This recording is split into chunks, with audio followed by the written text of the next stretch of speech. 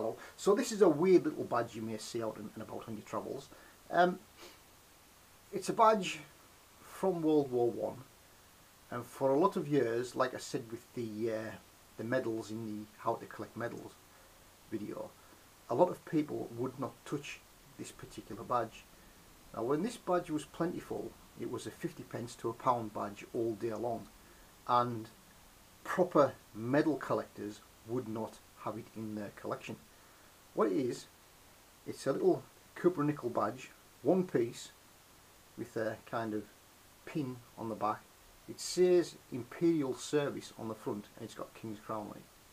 So if I do that and offer it up, you see the one, King's Crown, Imperial Service on the bar and a little pin on the back. Now this is the Territorial Force Imperial Service badge. It was instituted in 1912 for the British Territorial Force and it was issued to those members who were prepared to serve abroad outside the UK in defence of the British Empire. Now, back. For a lot of years, the proper medal people would not have this badge at all. So when it was a 50 pence to a pound badge, don't want one. Why do I want one of them? It's not even a medal. And then in the mid 2000s, something happened, as it always does. What happened was, I've mentioned this book before, all of a sudden, this badge that nobody wanted starts to appear in the medal yearbook. It appears between the Territorial Force Efficiency Medal and the Territorial Efficiency Medal. And it kind of sits right there. And now, medal collectors who get the book every year, all of a sudden, they want one now because it's now in the book. Now, the medal yearbook price guide lists it as a 12 to 15 pound badge, which isn't strictly true. Now, unfortunately, a couple of years ago, there was a movie called Warhorse, and in the movie, the badge is worn. Imagine this is a World War One tunic, where you have the tunic pocket flap. It's worn above the pocket flap to show that they volunteered for service overseas.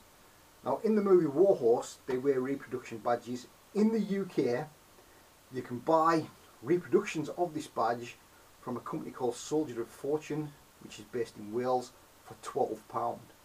So a repro of this badge will cost you £12.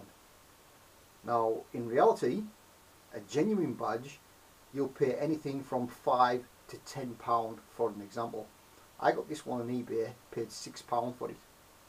So this genuine badge cost £6 less than a modern reproduction of the same badge. So that's something to keep an eye out for. It's something that, as I've said, a lot of proper medal collectors, back on that again, a lot of proper medal collectors would not touch these at all. They did not want them. But as soon as it starts to appear in the medal yearbook, they all want an example of the type. There are no variants of this badge, they are all the same. There's no precious metal content in the badge at all, it's just a Cupro nickel badge. But because they all want it, the price gets inflated. The badges were never named, they were never ever numbered, so you won't find one to a particular individual. It's the sort of thing that you'll see around the English car boot sale and you'll pay between 5 and 10 pound for one. If you're particularly looking for one, have a look on eBay. There are quite a lot of them, but the prices tend to fluctuate. But that's the price you're aiming to pay. Or you can go to the Soldier Fortune website, you can buy a repro for £12. But for the same money, you can have an original example. And sometimes it costs you less than the price of a reproduction. So that's the Territorial Force Imperial Service Badge. It's a badge, it's not a medal. Nobody knows how many were awarded and they were never done in a precious metal.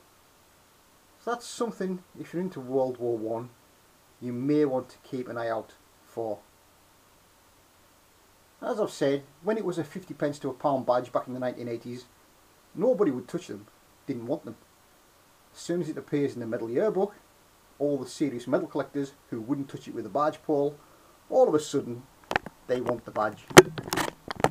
So that's just a little thing to keep an eye out for. The Territorial Force Imperial Service Badge. Bye for now.